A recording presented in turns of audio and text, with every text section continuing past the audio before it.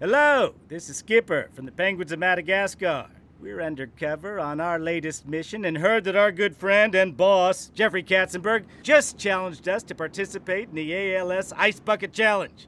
We accept your challenge. And the joke's on him because clearly he forgot we're flipping penguins. So we'll take your ice bath. And we'll make a contribution to ALS.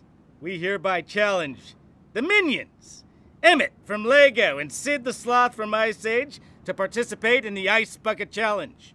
All right, boys, brace yourselves. No! That is cold! Cold! Cold! That's cold! Oh, that's cold! That is cold! Skipper out!